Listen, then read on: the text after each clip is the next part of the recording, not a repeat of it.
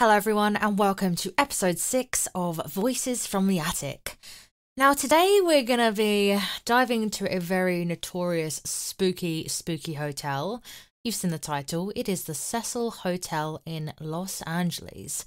There is so much history that goes with this hotel and so much unfortunate history that goes with this hotel. Now, before I do begin, please do consider subscribing to the channel. We just hit 1k. Let's try to get 1,500. I'm being very optimistic, but let's try. And just so you know, this podcast and video podcast goes out every single Tuesday. So if you haven't seen the previous ones, they are going to be in a playlist. So let's begin. The Cecil Hotel. Now, there is a few cases of death here and a few cases of murder. Let me grab my notes as always and we can start diving in. Now, the hotel originally was actually made in 1924 by William Banks Hanna or Hana, Hannah, and it was actually um, made with about uh, created with one million dollars and it had 700 rooms. It still does have 700 rooms, but this is how it started. So it was made in 1924. Um, it also had some very. When I look at pictures of the Cecil Hotel, it looks like a ship. I know that sounds really strange, but it looks like the Titanic. It looks like you're walking into the Titanic. It's got like marble floors and it's got like stained glass windows and stuff, and it's got palm trees, and it's just a very, very extravagant hotel. So, what happened is it was opened, it was fresh, it was beautiful, but then Hannah, Hannah, I'm going to say Hannah, Hannah would come into some trouble with investment now, just two years after the hotel opened, it was then the world was then thrown into a Great Depression, and people aren't going to spend that kind of money to stay in a hotel that's very, very, very fancy. And the majority of Los Angeles was actually collapsing at this time because, you know, economic crash, nothing's open. So then the area that was actually surrounding the hotel was then called Skid Row, and it became the area around it became a, uh, a home to thousands of homeless people because no one had any money, no one had nowhere to go. So they kind of all, were all situated around the hotel. So then what happened after this, all the rooms they were once very very beautiful and then the once beautiful hotel soon gained a reputation as a meeting place for junkies. Oh, I thought around the area. No, not around the area. The hotel itself became a meeting place for junkies, runaways, criminals, and homeless people. Oh, ho, makes sense now. Makes more sense.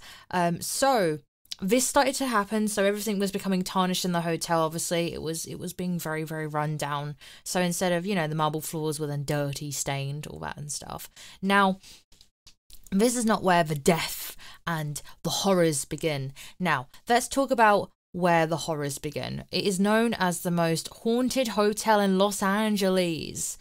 And also, I forgot to mention, Los Angeles is a very, very dark place, and there's episodes I've already got pre planned and scripts already written about some of the dark things that happen, um, which will be more kind of conspiracy episodes and stuff. Whereas uh, not conspiracies because there's quite a lot of evidence. So I wouldn't say conspiracy, really. Uh, not really actually happening. Anyway, so the haunting of the Los Angeles Cecil Hotel. In the 1930s alone, it was home to at least six reported suicides. A few residents ingested poison while others shot themselves, slit their own throats, or jumped out their bedroom windows.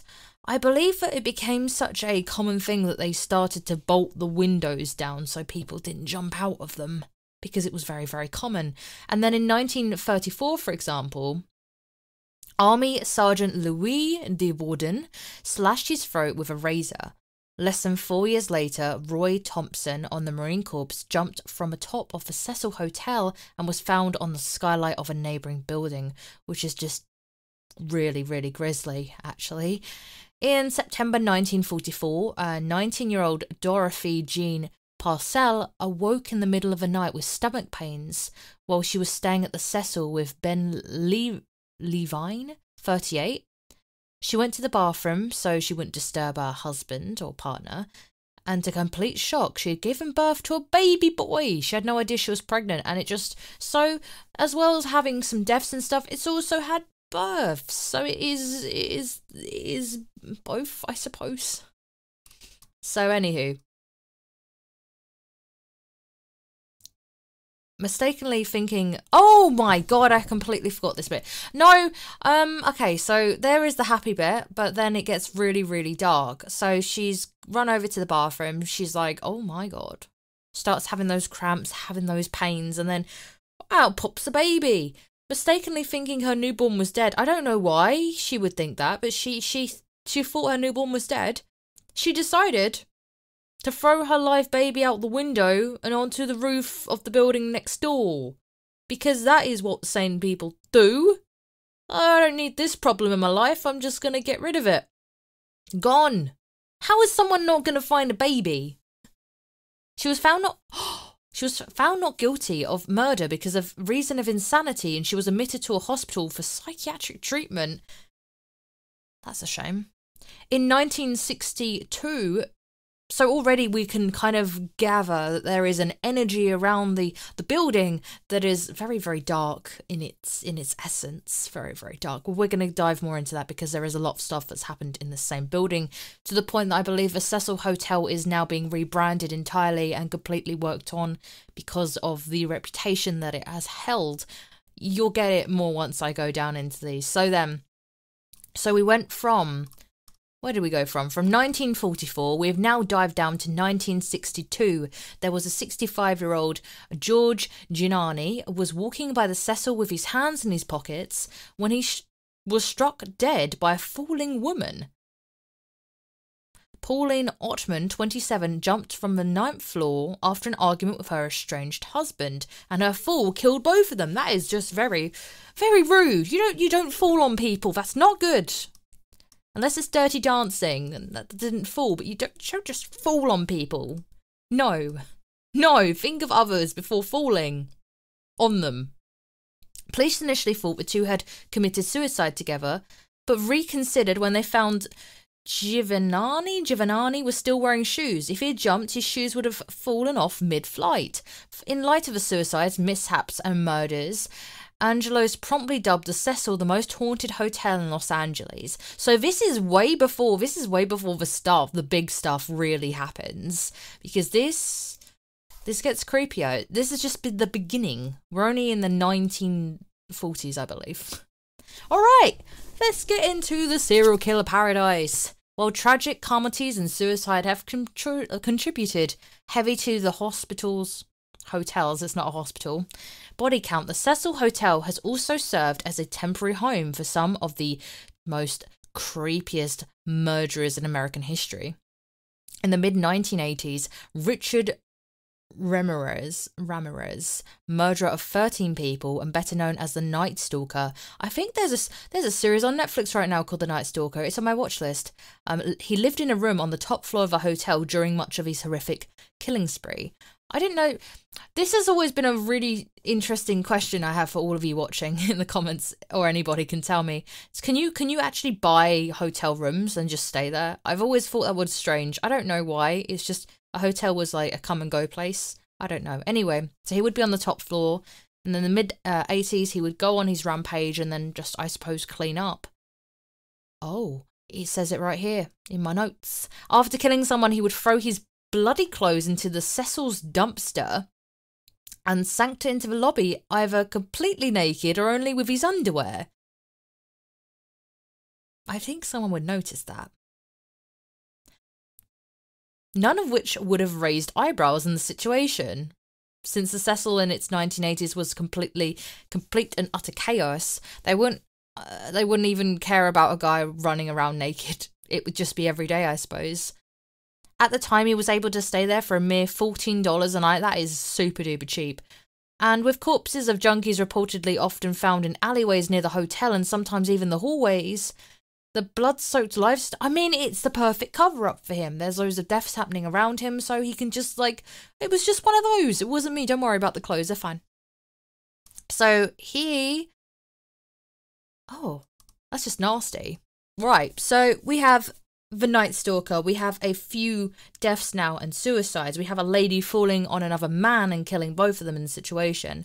And then we are gonna zoom in time here. We're gonna go to 1991. The Austrian serial killer Jack Unterweger, who strangled prostitutes with their own bras. What? Oh, that's not cool. I mean, like, bras have wires in them, so that's like horrific.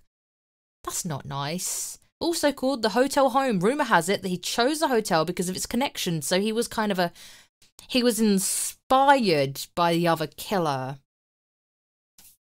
Great. Yeah. No. no because the area around the hotel was popular with prostitutes, junkies, druggies. It was like a it was like he was in a fish tank and he was a shark and there was thousands of fish around him and he just chose his pick. So he would just kind of grab them, they would vanish. No one would really know about them because a lot of people wouldn't know who were prostitutes at that time and they would just go missing in a sense and never be seen again. So serial killers copycat serial killers, suicides, uh, mm, uh, falling sides as well, those that happened. And then we have some eerie cold cases that also happened at the Cecil Hotel as well. This place is just horrific. Um, while some episodes of violence in and around the Cecil Hotel are known for, you know, the serial killers doing what the serial killers do, to pick a many, one oh, so we have these serial killers that did their cases, but then we have people around the area would start going missing around this hotel a lot. Like they would go in there and then never come out and so forth. Or there would be like, um, there's one woman in particular known as Goldie Osgood, and she was found dead in her ransacked room at the Cecil. She had been raped before suffering a fatal stabbing and beating, though one suspect was found walking with bloodstained clothing nearby. He was later cleared and never convicted because they were like, hey, this just happens, it's Hollywood, baby. I suppose that's what they do. And then we have another grisly, grisly tale um, of the noteworthy guest of the hotel was Elizabeth Short, who came to be known as the Black Dahlia. Got it right. After her 1947 murder in Los Angeles. She supposedly stayed in the hotel before her mutation, which remains, you know, unsolved. What connection her death may have had to the Cecil is not known, but she was like once again, she was there, she died, and she was found on a street not far away in the morning with her mouth carved ear to ear and her body cut in two. I feel there is something wrong about I know there's been a lot of um the worst places in the world, but I mean this feels like it's just built on hell. It is just built on evil. That spot, not a good spot just choose another spot to build a hotel because this ain't the one. This ain't the one. This is really bad. So, now after this happened, a lot of the cases were that may have happened continued to be kind of erased or ignored because they didn't want to continuously have the have the bad reputation of these things happening over and over again. So many cases that continued to happen there were kind of like you know put, put under the rug don't worry about it. Don't worry. Just close that door. Close that door. Don't worry. Don't worry about the blood. Don't worry. It's just it's just ketchup on the floor.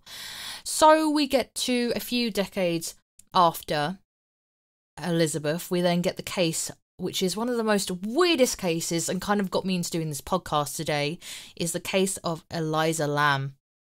I've seen the footage over a hundred times. I've watched it again and again and again to try to work out what it is. So let's get to that case. This case happened in 2013, so it's it's kind of recent, pretty recent. So she was a Canadian student and she was found dead inside a water tank, I believe 3 weeks after she went missing. Now she was just staying there as any other person would stay there. And you see this video, like everything seems to be going fine. But you see this video and she's in this elevator and she's just kind of looking around, looking back and forwards, and she looks quite nervous. And then she kind of like leaves the elevator and looks down the hall like she's kind of like waiting for somebody and you're like who oh maybe she's just waiting for someone. But then she kind of goes back on herself and her body language becomes very closed. She then starts hiding in a corner. She then leaves the elevator and then it looks like she's talking to someone because as i'm talking to you right now you probably can't see this on the podcast my hands are extending my body and i'm talking uh, as I'm saying my words, I'm a very talkative person with my words and my hands and stuff at the same time. It looked like she was doing that, but it looked like she was doing it to nobody because that's how it looked. There was no one else in the footage. Now, the footage, it wasn't given for a long time after her death, which makes a lot of people think that although this is a true crime, there is some conspiracies here that the footage had been edited because it looks like there is someone they didn't want to be in that footage that is actually actually uh you know maybe they're someone well known maybe they're one of the staff they didn't want to get in trouble so they edited them out. Maybe it was a manager maybe it was a, a higher up but they didn't want them in the footage and stuff. So what happened is her body was horrifically found about a few weeks later, and the only reason her body was found, and bear in mind, the last place we saw her is the elevator. Her body was found in the water tank at the top of the building, and it is extraordinarily hard to get into that water tank and get to the top of the building. Her body was found in there, naked with her clothes, her clothes beside her body, and there was no trauma applied to the body from what we know. And she was just just in the water tank. And people a few weeks later had said, Doesn't the water taste funny? So people had been drinking this water and she'd been in the water tank and that's just disgusting. And the authorities ruled her death as an accidental drowning. Now, this is where the conspiracies come in because it's just very, very bizarre. Who was she talking to? She was clearly talking to someone in this video in this footage of her in the lift, she was talking to somebody. She wouldn't have been able to get the, she wouldn't have known where the water tank was at the top of the building. And from footage and Netflix uh, things that I've seen, it just it's a very difficult task for a lady like that. She's quite small, she's quite petite to climb up there and open the water tank and get in the water tank and then we expect to believe she just kind of took her clothes off then and then laid in the water. Did she, did she think she was having a bath? Did she think she was going in one of those hypertherapy things where you, you go in a tank of water, you get a little bit cool, and then you kind of see the universe? I don't think that was the case here. It really doesn't feel like the case. Um, as I said, they did capture the, the footage. It was very strange. It seemed that she was ye- like yelling at somebody. Her hands were extended and stuff like that and she was waving them erratically and even begging at some point. Now, after the footage did surface publicly, many people believed um, that the rumors of a hotel being taunted might be true. Maybe um, horrific. Uh, big. I'm trying to think. Oh, oh. So people believe that there was kind of a connection between the um the black uh Dahlia murder and the Lams murder, pointing out that both women were in their 20s, traveling alone from LA to San Diego, last seen at the Cecil Hotel. They were missing for several days before their bodies was found. Um, it just it just feels like it just it's just horrific, really. And as I said, like in my notes, I didn't mention, yeah, it took a while to get the footage to the family and stuff like that and it just seems like something was going on there a little bit more than just a ghostly adventure and uh, adventure ghostly venture and stuff like that. So yeah um since then they have been i swear they've rebranded. They're no longer called the hotel cecile. The last body was found in at the hotel in 2015 a man who committed suicide and ghost stories and rumors of the hauntings swirled once more I know that Ghost Adventures have just released an episode on this, so if you're wanting to know more about it, it's on Ghost Adventures. They've just done an episode on the Cecil Hotel entirely, but there's even like even even more stuff to go into on here because they feel like a lot of politicians also went to this hotel and a lot of famous people went to this hotel that well, were well known about. And I even remember reading something about a cult, and I don't know where it is now, and it's not in my notes, but I swear it's just don't ever stay there, okay? Just don't go. Don't go there ever. Right, it says here after a brief stint, they changed the name to Stay on Main, and then the hotel was closed, and now it's undergoing an $100 million renovation. And it's going to be turned, oh my god, it's going to be turned into micro apartments. Imagine living there after everything that happened. No. no. Anyway, if you enjoyed this episode, this was Cecil Hotel. I hope you did enjoy it. It was a little bit spooky.